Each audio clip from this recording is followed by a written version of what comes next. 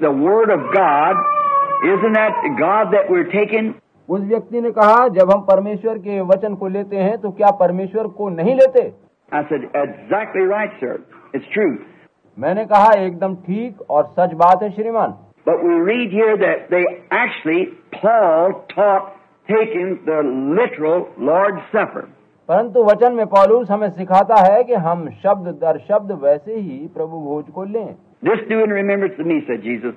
यीशु ने कहा था कि तुम मेरी यादगारी में यही किया करो As often as you take it in remembrance of me, you show forth the Lord's death till he comes. जब कभी तुम ये प्रभु भोज लेते हो तो प्रभु की मृत्यु को जब तक वो न आए प्रचार करते हो See? Now, we are to take it.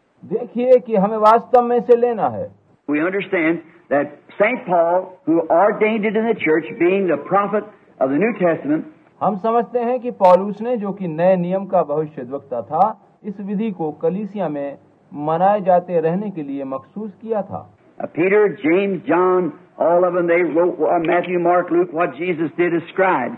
पतरस याकूब यूहन्ना मती लूका मरकुस आदि ने लेखकों की तरह वह सब लिख दिया जो यीशु ने कहा और किया. लेकिन पॉलूस ने उन बातों को क्रमवार कलीसिया में स्थापित किया है He was a, a he was the prophet of the New Testament. क्योंकि वह नए नियम का नबी था Just as Moses went into the wilderness to receive the inspiration to write the, fir- the five books of, uh, of the first five books of the Bible, ठीक उसी तरह जैसा मूसा पवित्र शास्त्र की प्रथम पांच पुस्तकों को लिखने से पहले पवित्र आत्मा की प्रेरणा पाने के लिए जंगल में रहा well, Paul also went into the desert and received inspiration from God पौलुस भी उसी तरह से जंगल में रहा ताकि परमेश्वर से उसकी बातों की प्रेरणा ले सके.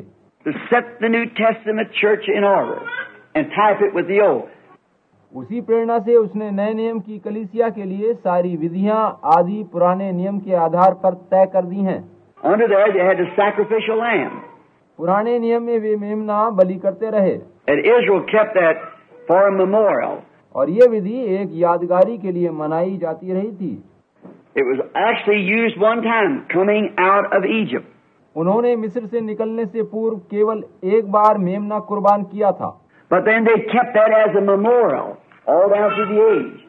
लेकिन उसी की यादगारी में पीढ़ी दर पीढ़ी वे इसी तरह कुर्बानी देते चले गए। ठीक है अब अगर व्यवस्था आने वाली बातों की प्रतिछाया मात्र थी तो आप ध्यान दीजिए। Now, I do believe that communion, or what we call communion now, is the, to- is the Lord's Supper. अब मैं भी इस बात को मानता हूँ कि जिसे हम पाक अशा या कम्युनियन कहते हैं वह प्रभु भोज है Now, we only have three physical divine orders left to us. हमें तीन दिव्य बातों को मानने के निर्देश दिए गए हैं One of them is, is communion, feet washing, water baptism. पहला पाक धोना प्रभु भोज लेना और जल से बपतिस्मा लेना That's the only three things. केवल यही तीन चीज़ें हैं That's the perfection of the three. तीन का अर्थ सिद्धता होता है See, that's the only three orders we have. हमें यही तीन आदेश दिए गए हैं We realize that that was the issue given by St. Paul in the New Testament. हम मानते हैं कि संत पालूस ने इन्हीं तीनों का ज़िक्र नए नियम में किया है